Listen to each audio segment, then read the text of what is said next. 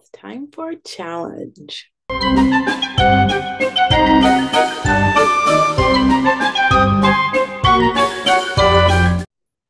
So, this is my uh, monthly Goodreads challenge wrap up video. I will be following up this video with my book review video.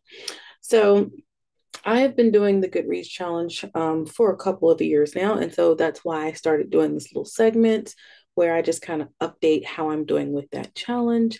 Um, something new that um, just got launched on the, um, the group, the book club that I am an admin for, the IWSG book club. We are now doing a monthly reading challenge, and it's really cool the way we've done it. Um, of course, because we're a book club, you know, we have certain selections that are book club selections. And so we've now switched our format a little bit so that we're not picking something new every month to read. Um, people have busy lives. And since our book club is predominantly made of people who are writers, um, writers don't read as much as um, just the avid reader because they're also writing. so, anyway, what we're doing now is that the selections that we pick, we're now doing them quarterly. So, it gives people time to you know read those selections if they choose to. But what we decided to do is because you know a lot of writers started becoming writers because they love to read. And so we decided to create a monthly challenge.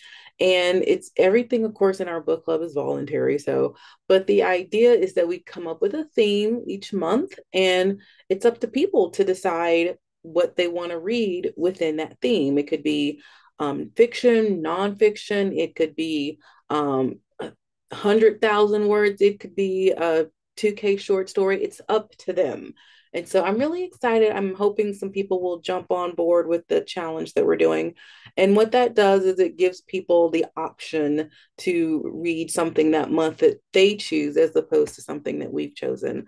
Um, so I will be talking about that a little bit more in just a minute, but let's get into my uh, Goodreads wrap up update. So let's see. I am currently ahead in my challenge, and that's a very strategic move on my part because I read some short stuff. That's that's the very good way to stay on top of your challenges to read some short stuff. So um, technically, in the month of February, I read five titles um, two of those titles were um, short stories or novelettes in a series. So I read the first book, the second book, and the third one is not out yet. I think it comes out either this month or next month or something like that. So I'll probably read that one again to give myself a boost in my challenge. Um, I've also been known to read like comic book, graphic novels, and picture books sometimes to give myself a boost in the challenge. But I was actually interested in this um, series, so I'll talk about that in just a minute too. And so overall, I have read seven out of 36 uh, for my goal for the year. Um, 36 is actually a low goal for me. I've done higher than that, but because I didn't do so well last year, I wanted to give myself a boost by making a goal that I knew I would be able to hit. So I'm actually ahead. I'm one book ahead in my challenge so far. And so we will see how things go. So let's look at what I actually read in the month of February. And then I'll come back and talk about what I'm currently reading and circle back to that whole challenge I mentioned. All right, so let's see here. We're going to start with the um short stories or the novelettes because um well I'll I'll give the sequence but the first one of that series was the first thing that I read in the month of February, and that is The Influence of Love, and it's a sweet fantasy romance. And um, let's see here. I want to make sure I get the name right. This author, I think she has um, I don't know if it's she or they, but I know they have more than one pen name, so I just want to make sure I gave you the right one. It's Patricia Josephine. And I've read um, other stuff by this author. And so when I saw this little series, I was like, this is be a perfect little boost for me. So, Influence of Romance was the first book in the series. It's also the first thing I read in the month of March, and I gave it an overall rating of four. And you can watch the follow up um, video um, for my book review on that. The next thing that I read in the month of March was a collection of short stories. I think I mentioned this last month that I was excited about it because I'm currently working on my own collection of short stories, kind of a, a novel and anthology thing that I'm doing. And um, I um I like to I like reading short fiction just because you get so many um, perspective and it, like you just get a bunch of different experiences in a condensed form. And i still love to read a good novel obviously but sometimes just being able to fly through a bunch of short stories is something very satisfying about that to have all of these different emotions where you're laughing one minute crying one minute and it's all these different stories and they feel like fully fleshed out stories even though they're short. And so 25 Impossible Tales of Survivors, Flawed Heroes, and Annoyed Villains, a science fiction and fantasy collection. This is by Tyrean Martinson, and I gave it an overall star rating of five, I believe. Yes. and again, I'll have my review in the next video. So the next thing that I completed in the month of February was Summer of Luck. This was a middle grade um, kind of magical realism, um, I guess adventure. I don't know this. Yeah, I guess it's an adventure story. but it's also kind of a coming of age story, and um, I thought it was a lot of fun. Extremely nostalgic, and of course, I'll go into detail in my video later. But I ended up giving it an overall star rating of four. And then the next thing I read was the follow up to that that series I mentioned, the other novelette or short story that I read in the month of February to give myself a boost. Um, and this one was Balance of Love. Um, the first one in in the in the collection was very um, kind of light. Um, you you could tell there was going to be some depth, and then when you get to the second one, there's way more depth.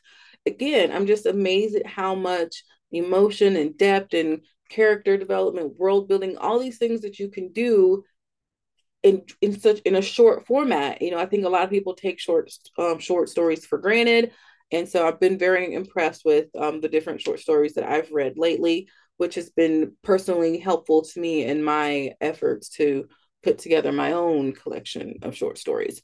So, um, Balance of Love, overall star rating of four.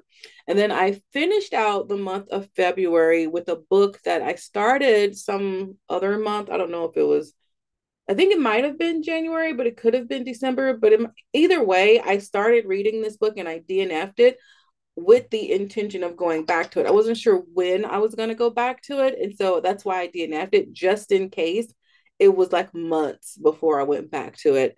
And I had basically met my reading goals for the month of March. And I was like, before I start something else, why don't I go back and undo this? And so basically, what I did is I wanted to start from the beginning with this book, which I'll go ahead and tell you the title is Fractions of Existence. I gave it an overall star rating of three.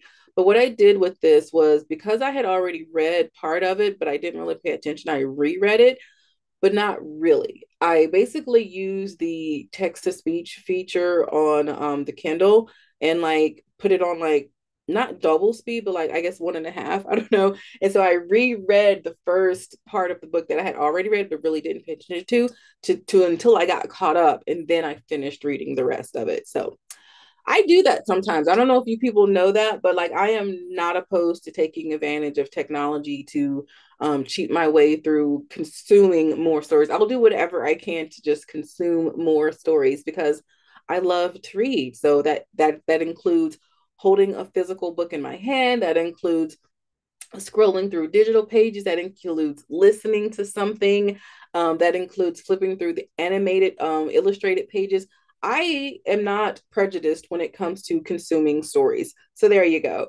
That is what I read in February. What I am currently reading So I am currently reading In Darkness, The Vampire. This is a new series by L. Diane Wolfe. Uh, she's an amazing publisher who also happens to be a writer. And so I'm excited to um, kind of dive into her story. I literally just started, so I don't really have any impressions yet, but that's something I'm currently reading. The other thing that I'm currently reading goes back to that challenge I mentioned before. So um, my IWSG book club always has um, a member book and a craft book. So, a member book means uh, a writer who is part of the book club has a published book out there. And we look through the different and we just pick one. And so um, this month our new theme challenge that we just launched is horse crazy. And we happened to find a member with a book about a horse. And so we chose that we did that um, so that if someone wanted to take the horse challenge um, and they also wanted to um, read the selection, um, it would be a two for one for that person. Now they have um, two months basically to um, read this book. So maybe they don't want to read it now. Maybe they wanted to read something else. The idea here is that even if they did not want to read our book club book, they could still participate in the challenge. So someone may not be interested in um, our book club selection, but maybe they want to read Black Beauty or um, some other book with a horse in it. They can totally still do that and take the challenge which is why I find this so exciting. I am taking the easy way out this month, and I'm going to read the um, book club selection, which also just happens to be um, in line with the theme. I don't think we've lined it up to be that way every single time around, but whenever we could, we did do that. But I already know there's times where I'll be reading something extra for the challenge that's not a book club session. I already know that just because I've seen the list ahead of time. so those are the two things that I'm currently reading. Who knows what else I'll get to this month. But that is all. Um, I would love to know what you guys have read. What do you think about things I've read? And my book review video will be coming up shortly. So until then, guys, stay safe and be blessed.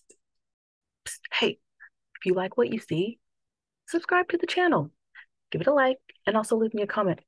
I would love that. Okay, bye.